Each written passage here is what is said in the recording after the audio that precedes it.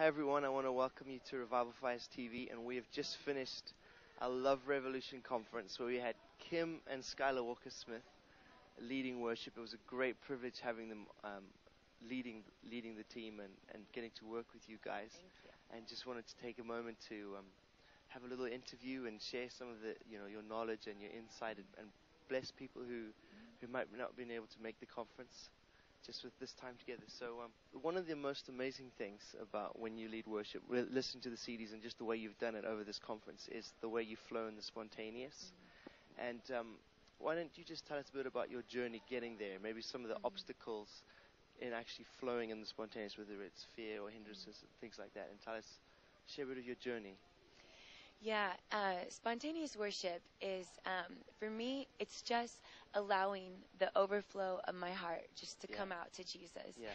And I'd say the first obstacle that I had to overcome Yeah. was definitely fear. Okay. Um, I was definitely nervous about just jumping out there and Yeah. saying what's in my heart. And Yeah. It's also very vulnerable. It's something that just takes time.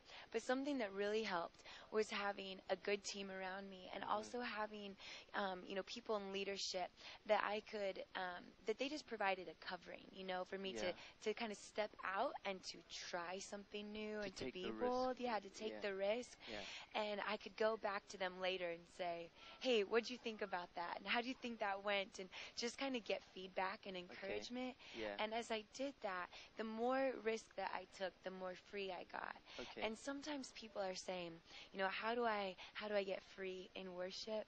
And how do I get free in that, you know, the spontaneous worship? And yeah. there really is no great answer except to say you just keep doing it. You just keep jumping out there. Okay. You just keep putting yourself out there and and I have to say that in the spontaneous worship, that overflow, it you you go as far and as deep as your intimacy with Jesus. yeah. And so those alone times that you have with God are completely vital to being able to flow in that spontaneous worship. Because if you don't have that intimacy built up, Yeah. it's kind of hard to let that overflow come out. Okay.